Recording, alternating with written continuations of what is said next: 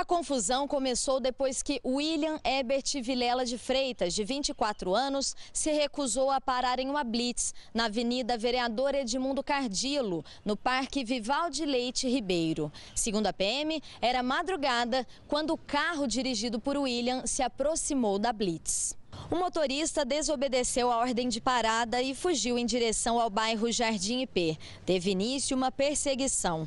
Outras viaturas policiais foram chamadas. Ainda no Jardim IP, a PM tentou a primeira interceptação sem sucesso. Nesse momento, o passageiro Diego Eduardo Rodrigues, de 18 anos, abriu a porta e se jogou na tentativa de fugir, mas foi detido.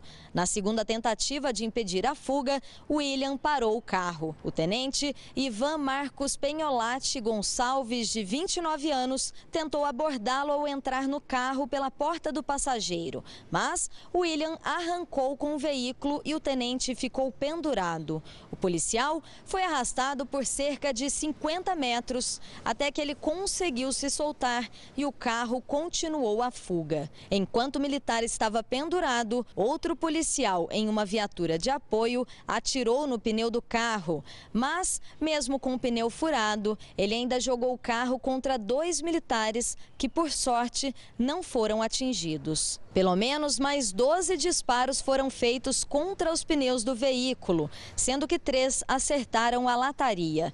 William perdeu o controle da direção e bateu em um poste.